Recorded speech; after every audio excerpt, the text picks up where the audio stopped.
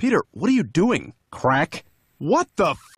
Hey, at least I'm not drinking, Brian. Yeah, this isn't exactly a good substitute. Where'd you get crack? From Black's? What? Yeah, right behind Black's hardware store. There's a white guy selling it. Look, doing crack is not the way to stop drinking. You need to get to the heart of why you feel the need to drink in the first place. Look, here, this is the number of a hypnotherapist I want you to see. All right, Brian. Good.